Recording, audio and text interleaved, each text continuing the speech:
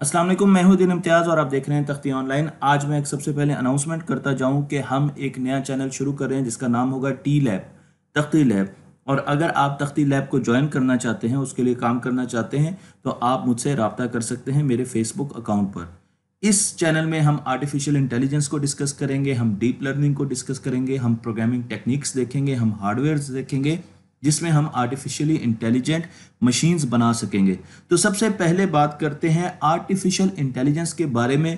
ہمیں عموماً artificial intelligence کا جو تاثر دیا جاتا ہے، وہ روبوٹس کے ذریعے دیا جاتا ہے۔ جب بھی ہم سوچتے ہیں کہ اے آئی بیسڈ مشین کیسی ہوگی، تو ہمارے سامنے روبوٹس آ جاتے ہیں۔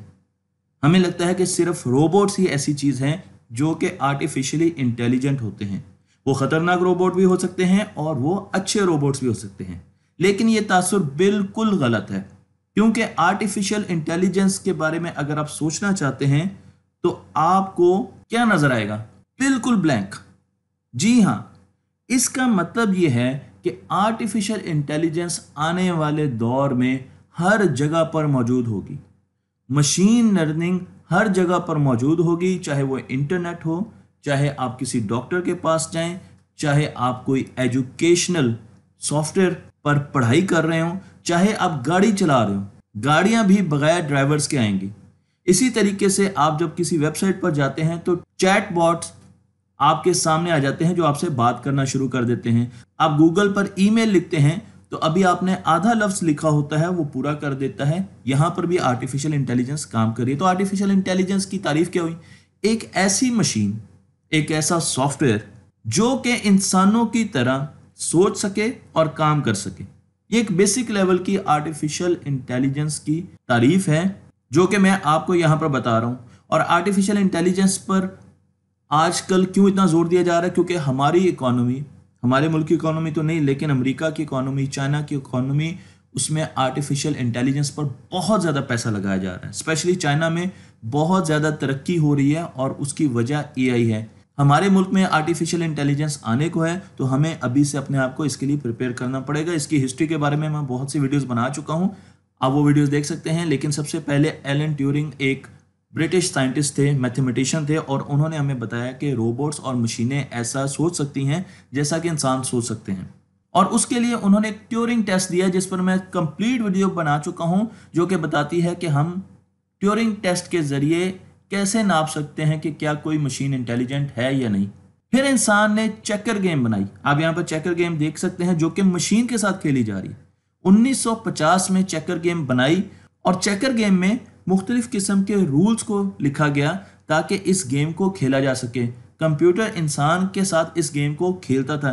آرٹیفیشل انٹیلیجنس کی ایک خاص بات ہے سپر پاور ہے لرننگ کوئی بھی مشین جو آرٹیفیشلی انٹیلیجنٹ ہوگی اس میں لرننگ کی کیپیبلٹی ہوگی، جیسے کہ انسان اپنی غلطیوں سے، اپنے ایکسپیرینس سے سیکھتا ہے لرن کرتا ہے۔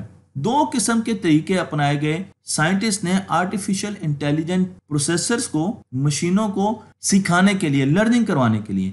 پہلا جو طریقہ تھا، وہ تھا رولز بیسڈ یہ طریقہ انیس سو پچاس سے لے کر اور دو ہزار تک بہت زیادہ لاگو رہا۔ ہم پروگرامنگ کرتے تھے، ہم رولز بناتے تھے اور ان رولز کے ذریعے ہم چیزوں کو پرابلمس کو سالو کرنے کی کوشش کرتے تھے۔ مثلا میں آپ کو ایک چھوٹی سی ایگزامپل دیتا ہوں ٹک ٹیک ٹو ایک گیم ہے جو کہ ہم اپنے اسکول میں بہت زیادہ کھیلتے تھے۔ اگر آپ نے یہ گیم بنانی ہے تو اس کے لیے آپ کو کچھ رولز بنانے پڑیں گے۔ کچھ رولز تو ایسے ہوں گے جو اس گیم کو کھیلنے کے لیے ضروری ہیں۔ لیکن اس کے ساتھ ساتھ کچھ ایسے ٹرکس آپ کو دینے پڑیں گے سافٹ ویئر کو، تاکہ وہ ان رولز کو فالو کر سکے۔ مثلا اگر میں آپ سے پوچھوں کہ آپ ٹک ٹیک ٹو کھیلنا چاہ رہے ہیں، تو اب کہاں سے شروع کریں گے؟ کچھ بچے کہیں گے کہ ہم بیچ میں پہلے کراس یا زیرو لگائیں گے۔ کچھ بچے کہیں گے ہم اینڈ سے شروع کریں گے، کچھ بچے کہیں گے ہم کارنر سے شروع کریں گے۔ تو یہ وہ سارے کے سارے رولز ہیں جو ہم اپنے سافٹ ویئر کو دے سکتے ہیں تاکہ وہ ہمارے ساتھ گیم کھیل سکے۔ میں آپ کو یہاں پر پروگرامنگ اسٹیٹمنٹس دکھا رہا ہوں سافٹ ویئر میں جو ہم ڈالتے ہیں تاکہ کمپیوٹر ہمارے ساتھ یہ گیم کھیل سکے۔ وقت نے ہمیں بتایا کہ یہ بہت اچھا طریقہ نہیں ہے، کیونکہ جب بھی آپ لینگویج کو لرن کرنا چاہتے ہیں، اور میں آپ کو اس کی گرامر بتا دوں، اس کے رولز بتا دوں انگلش کے بارے میں، تو کیا ان رولز کو جان کر، اس گرامر کو جان کے آپ انگلش بولنا شروع کر دیں گے؟ بالکل نہیں بولیں گے۔ اس کے لیے آپ کو کچھ اور کرنا پڑے گا۔ اسی طریقے سے اگر ہم یہ سوچنا شروع کر دیں کہ ڈرائیونگ کار کو ڈرائیو کرنے کے کیا رولز ہیں؟ تو کیا آپ رولز لکھ سکیں گے؟ بہت کمپلیکس ہو جائے گا۔ تو جب ہم ریئل ٹائم پرابلمس کو سالو کرنے کے لیے رولز لکھنے کی کوشش کرتے ہیں تو وہ رولز ہمیں سمجھ نہیں آتے، وہ بہت زیادہ کمپلیکس ہو جاتے ہیں۔ اب ہمیں کسی اور چیز کی ضرورت تھی کہ ہم مشینوں کو رول سے ہٹ کر پڑھا سکیں۔ مثلا اگر آپ نے لینگویج سیکھنی ہے تو آپ گرامر سیکھنے سے اور رول سیکھنے سے نہیں سیکھیں گے، بلکہ آپ لوگوں کے ساتھ بولنے سے۔ ایگزامپلس کے ساتھ سیکھیں گے، آپ ایکسپیرینس کے ساتھ سیکھیں گے۔ آپ کو پتا چلے گا کہ کون سے ورڈز ایسے ہیں جو اچھے ہیں، میں بولتا ہوں تو سب خوش ہوتے ہیں، اور کون سے ورڈز ایسے ہیں جو کہ برے ہیں۔ میں جب بولتا ہوں تو لوگ سب مجھے گھور کے دیکھتے ہیں۔ آپ اپنے آپ کو ٹرین کرتے ہیں ایکسپیرینسز کے ذریعے آپ کو پتہ چلتا ہے کہ کون سی چیزیں بولنے والی ہیں، کون سے لفظ بولنے والے ہیں، اور کن لفظوں کو ہم نے نہیں بولنا۔ بالکل ایسے ہی مشین لرننگ کام کرتی ہے۔ مشین کو ہمیں بتانا پڑتا ہے، اسے ٹرین کرنا پڑتا ہے کہ کیا چیز اچھی ہے، کیا چیز اس سے ریکوائرڈ ہے اور کیا چیز غلط ہے، ہمیں اس سے ریکوائرڈ نہیں ہے۔ تو اگر ہم سے مشین ٹک ٹیک ٹو کھیل رہی ہے مشین لرننگ کے انداز میں، ہم نے اس میں رولز نہیں دیے، بلکہ ہم نے اس میں مشین لرننگ کے الگوریدمس ڈال دیے۔ تو وہ جب بھی ہم سے کھیلے گی، وہ ہم سے سیکھنا شروع کر دے گی۔ وہ ایک گیم کھیلے گی، کچھ سیکھے گی، دوسری گیم، تیسری گیم، ہزار گیم، لاکھ گیم۔ جب وہ لاکھوں گیمز ہم سے کھیلے گی، تو اس کا ڈیٹا بیس بہت زیادہ بڑا بن چکا ہوگا، اس کے پاس بہت زیادہ ڈیٹا ہوگا، اور وہ پیرالل میں یہ دیکھ رہی ہوگی کہ اس انسان کی اگلی موو کیا ہوگی۔ اور اس بیسس پر وہ ہمیں بہت جلدی اس گیم میں ہرا دے گی۔ لیکن اب اس سے آگے بھی مشینیں جا چکی ہیں، اور اب مشینیں انسانوں کے ساتھ نہیں کھیلتی، بلکہ وہ اپنے ساتھ کھیلتی ہیں۔ وہ ایک سیکنڈ میں billions of time gazillions of time اپنے ساتھ وہ گیم کھیلتی ہیں اور اس کی جتنی پاسبل آؤٹ کمز وہ نکال لیتی ہیں۔ تو اگر آپ نے یہ گیم ایک مشین کے ساتھ کھیلی، تو آپ کو پانچ ہزار مختلف کنفیگریشنز نظر آئیں گی بورڈ کی۔ اور مشین ایٹ اے ٹائم وہ اپنے ساتھ کھیل کھیل کر پیرالل میں ان پانچ ہزار کنفیگریشنز پر غور کری ہوگی کہ اگر اس نے یہاں پر کراس لگایا تو اگلی موو کیا ہوگی۔ اگلی موو کیا ہوگی؟ اگر اس نے سائڈ پر زیرو لگایا ہے یا او لگایا ہے تو اگلی موو کیا ہوگی؟ اور اس طریقے سے وہ اپنی لرننگ سے اپنے ساتھ انسٹنٹ بنا بنا کر ان کے ساتھ کھیل کر اپنے آپ کو انٹیلیجنٹ بناتی ہے اور پھر وہ ہمیں ہرا دیتی ہے ایسے بہت سے سافٹ ویئر ہیں تو میں آپ کو تھوڑا سا بتا دوں کہ مشین لرننگ میں ہمیں ڈیٹا چاہیے۔ وہ ڈیٹا مشین اپنے ساتھ کھیل کر بھی حاصل کر سکتی ہے، وہ انسانوں کے ساتھ انٹریکشن سے بھی حاصل کر سکتی ہے۔ اس ڈیٹا کو پھر اس نے کلین کرنا ہوتا ہے۔ اور اسے اس فارم میں لانا ہوتا ہے جس سے وہ اپنے آپ کو ٹرین کر سکیں۔ اور یہاں پر ہمارے پاس مشین ٹرین ہو رہی ہے۔ تیسرے اسٹیپ میں اب مشین اس ڈیٹا سے ٹرین ہو رہی ہے اور ٹرین ہونے کے بعد ہم اس مشین کو ٹیسٹ کرتے ہیں۔ اگر وہ مشین ٹھیک کام کرتی ہے تو ہم اس کو شابش دیتے ہیں۔ اور اگر وہ مشین ٹھیک کام نہیں کرتے تو ہم اس کو گھورتے ہیں اور اسے فوراً پتہ چل جاتا ہے کہ اس نے امپروو کرنا ہے اور وہ دوبارہ ٹریننگ کی طرف چلی جاتی ہے۔ تو اس طریقے سے فیڈ بیک کے ذریعے ہم اسے ٹرین کرتے ہیں اور پھر ریئل ٹائم سینیریوز میں بھیج دیتے ہیں۔ میں آپ کو یہاں پر ایک مشین دکھا رہا ہوں جس نے فیصلہ کرنا ہے کہ اس کو جو امیج دیا گیا وہ بلی کا ہے یا کتے کا ہے۔ یہاں پر وہ مشین ہے۔ آپ کو یہاں پر میں نے مشین دکھائی ہے۔ آپ کو اس کے بارے میں زیادہ جاننے کی ابھی ضرورت نہیں ہے۔ تو ہم اسے بہت زیادہ تصویریں دکھائیں گے بلی کی اور کتے کی اور پھر ہم اس کو بتائیں گے کہ یہ بلی ہے اور یہ کتا ہے۔ جب وہ بہت زیادہ لرن کر چکی ہوگی، ہم نے اس کو ہزاروں، لاکھوں تصویریں دکھا دیں تو اس کے بعد ہم ایک ریئل ٹائم تصویر دکھائیں گے۔ پہلے ہم اس کو تصویر دکھا رہے تھے اور بتا رہے تھے کہ یہ بلی ہے۔ اور وہ اپنے پیرامیٹرز ایڈجسٹ کر رہی تھی۔ پھر ہم اس کو بتا رہے تھے یہ ایک کتا ہے اور وہ اپنے پیرامیٹر ایڈجسٹ کر رہی تھی۔ لیکن اب ہم نے اسے ریئل ٹائم ایک امیج دیا اور پوچھا کہ اب بتائیں یہ کیا چیز ہے؟ تو وہ ہمیں بتائے گی اور اس کی پروبیبلٹی ہوگی کہ کتنے چانسز ہے وہ صحیح کیس کرے اور کتنے چانسز ہیں کہ وہ صحیح گیس نہ کرے اور یہ چانسز ڈپینڈ کرتے ہیں ہم نے اس کو کتنا زیادہ ڈیٹا دیا۔ اگر آپ نے اس کو صرف پچاس امیجز دیے تو غلطی کے چانسز بہت زیادہ ہے اگر آپ نے اس کو ہزار امیجز دیے ٹریننگ کے لیے تو غلطی کے چانسز کم ہوں گے۔ لیکن اگر آپ نے اس کو کروڑوں امیجز دیے اور اس کو ٹرین کیا تو اب اس کے غلطی کے چانسز بہت ہی زیادہ کم ہوں گے۔ میں آپ کو اس کی ایک ایگزامپل دیتا ہوں۔ انیس سو ستر میں ہم نے ایک روبوٹ بنایا جس کا نام تھا شیکی اور یہ روبوٹ کیا کرتا تھا؟ اس کے رستے میں ہم مختلف قسم کی آبسٹیکلز رکھ دیتے تھے اور یہ ان کو دیکھ کے اپنا راستہ بدل لیتا تھا۔ بالکل ایسے جیسے بچہ چیزوں میں سے بچتا ہوا گزر جاتا ہے۔ لیکن جب یہ روبوٹ انڈور گھر میں اس کو ٹیسٹ کیا جاتا تھا تو اس کے بہت اچھے رزلٹ تھے۔ لیکن جیسے ہم اس کو باہر لے کے جاتے تھے تو اس کے ریزلٹس بالکل خراب ہو جاتے تھے اور یہ سڑک سے اتر جاتا تھا۔ اس کی وجہ اس میں رولز تھے۔ ہم نے اس میں مختلف قسم کے رولز دیے ہوئے تھے۔ اس وجہ سے اس کو کئی سینیریوز کے بارے میں پتہ نہیں چلتا تھا کیونکہ اس کے رولز ہی نہیں ہم نے ڈیفائن کیے۔ یہ چیز سمجھانے کے لیے میں آپ کو لے کے چلتا ہوں دو ہزار چار میں جہاں پہ ڈارپا گرینڈ چیلنج ہو رہا ہے کیلیفورنیا میں۔ اور اس چیلنج میں ہمیں ایک اٹونومس کار ایک بغیر ڈرائیور کے گاڑی کو ایک سو پچاس میل کا فاصلہ طے کروانا ہے ریگستان سے۔ اور جو ایسا کرے گا، اسے دو ملین ڈالرز ملیں گے U S T American dollars ملیں گے۔ سو کاروں نے اس میں حصہ لیا اور تمام کی تمام رول بیسڈ انٹیلیجنس پر کام کر رہی تھی ان میں جتنے بھی الگوریدم تھے، ان میں رولز لکھے گئے تھے۔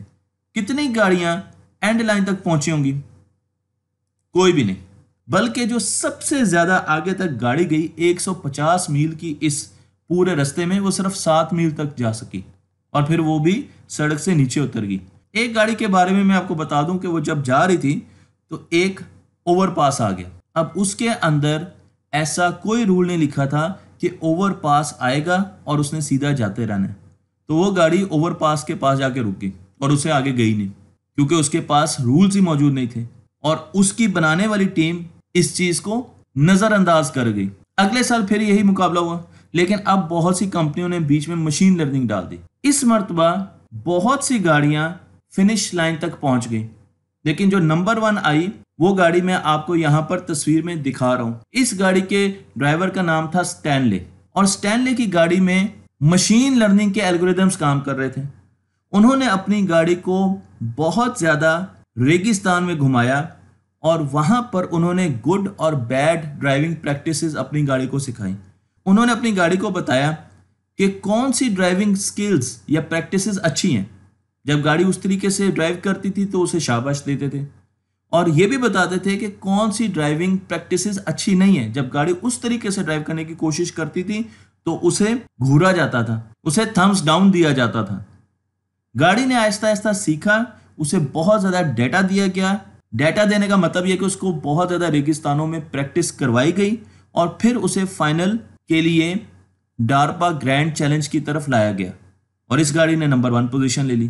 تو اب آپ دیکھ سکتے ہیں کہ اسی گاڑی میں جب رول بیسڈ انٹیلیجنس ہم نے ڈالی تھی، تو اس وقت ایسی گاڑیاں سات میل سے آگے نہیں جا سکی لیکن جب ہم نے اس میں مشین لرننگ کے الگوریدمس ڈالے تھے، تو اب آپ دیکھ سکتے ہیں کہ کئی گاڑیاں فنش لائن تک پہنچ گئی، جس میں یہ گاڑی ہمارے سامنے ہے۔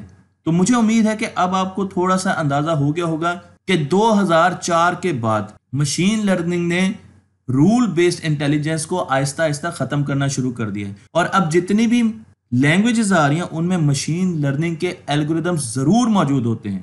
اس کورس میں ہم مشین لرننگ کو بہت زیادہ ڈیٹیل میں پڑھیں گے۔ مجھے امید ہے کہ آپ کو یہ ویڈیو پسند آئی ہوگی۔ یہ ویڈیو میں نے اسٹوڈنٹس کے لیے بنائی ہے اسکولس کے لیے بنائی ہے۔ تو اسکولوں میں یہ ویڈیو اپنے لیکچر روم میں ضرور دکھائیے۔ تختی آن لائن کو لائک کیجیے شیئر کیجیے۔ اور آنے والے آرٹیفیشل انٹیلیجنس اور ڈیپ لرننگ کے دور کے لیے ابھی سے اپنے بچوں کو تیار کرنا شروع کر دیجیے مشین لرننگ کے الگوریدم کے بیسیکلی تین سٹیپ ہوتے ہیں۔ پہلا سٹیپ یہ ہوتا ہے کہ اسے ڈیٹا چاہیے۔ ڈیٹا بالکل فیول کی طرح کام کرتے ہیں اگر ایک گاڑی کو چلانے کے لیے فیول کی ضرورت ہوتی ہے تو اسی طریقے سے مشین لرننگ کے الگوریدمس کو چلانے کے لیے بہت زیادہ ڈیٹا کی ضرورت ہوتی ہے۔ اور اس کے بعد ہمارے پاس الگوریدم آتا ہے مشین لرننگ الگوریدم جو کہ گاڑی کے انجن سے مطابقت رکھتا ہے۔ ان دونوں کو ملا کر ہمارے پاس ایک ماڈل بنتا ہے جو کہ پریڈکشن کر سکتا ہے، جو ہماری پرابلم کا سلوشن دے سکتا ہے۔ تو میں آپ کو یہاں پر یہی چیز دکھا رہا ہوں کہ آپ نے یہاں پر بہت زیادہ ڈیٹا لیا اور اپنی مشین کو آہستہ آہستہ ٹرین کرنا شروع کر دیا۔ یہاں پر آپ اپنی مشین کو بار بار ٹرین کر رہے ہیں۔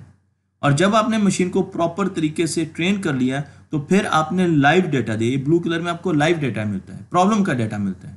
اور پھر آپ دیکھتے ہیں کہ کیا آپ کی مشین نے جو آؤٹ پٹ دیا ہے وہ ٹھیک ہے یا غلط ہے؟ اگر تو وہ ٹھیک ہے تو پھر آپ کی مشین، کیونکہ وہ بہت زیادہ لرننگ کر چکی ہے، تو وہ ریڈی ہے، آپ اس کو فیڈ میں لے جا سکتے ہیں۔